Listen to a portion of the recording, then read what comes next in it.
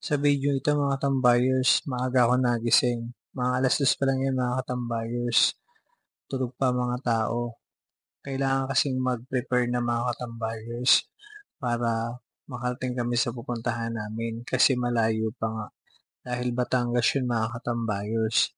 Bali atin kami ng kasal mga katambayers.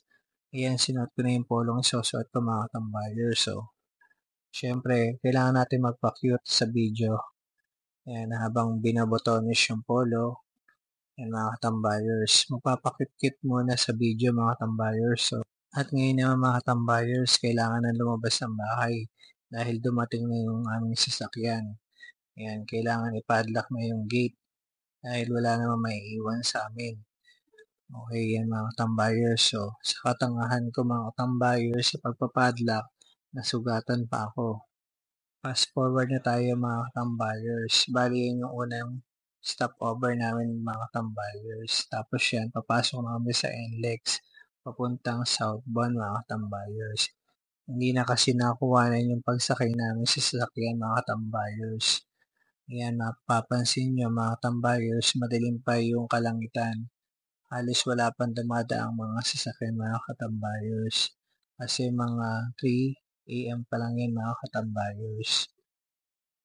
Tapos fast forward ulit tayo mga katambayers. Second stopover namin yan mga katambayers. Warm up, warm up muna mga katambayers. At pagkatapos namin mag-stop over sa pangalawa mga tambayers, nagpatuloy na uli kami sa pagbiyahe mga tambayers para maaga kami makarating sa aming pupuntahan. Ngayon mga katambayers, di ba napakadilim pa rin? At dyan mga katambayers, unti-unti na nagbubukan liwayway mga katambayers. At first time ko lang din makarating sa Batangas mga katambayers. Kaya medyo excited ako kung ano ba itsura ng Batangas. Kasi puro Maynila lang ang napupuntahan ko mga katambayers. Yan, si Moy Tagaytay din. Oo, Batangas eh. Ano Batangas City. Eh, Ano? eh, eh, eh, Dumaan pa yung tricycle. eh, eh, eh, eh, eh, eh. Lala. Lumiso ako. Meme. Naku ako, hindi, naku ako. Nakuha niya. Imbis mag-picture ko. Welcome to Batangas! At yan na mga tambayers, nakarating na kami sa location. Ang ganda rin pala ng Batangas mga katambayers, napakaraming halaman, maraming puno, at nakaka-relax mga katambayers. At syempre, mga mababait din ang mga tao sa Batangas mga katambayers. Talagang asikasong asikaso ay mga katambayers.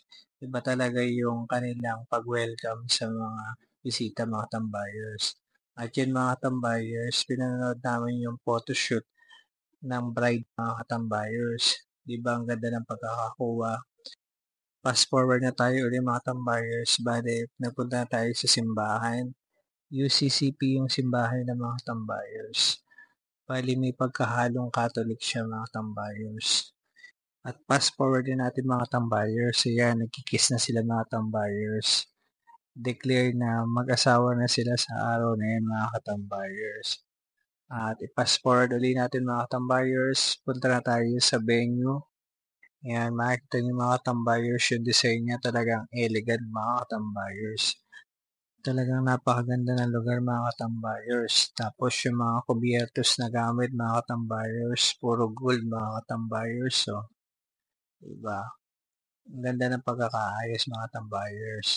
Hanggang dito na lang muna mga tambayers. See you on my next vlog. Bye-bye!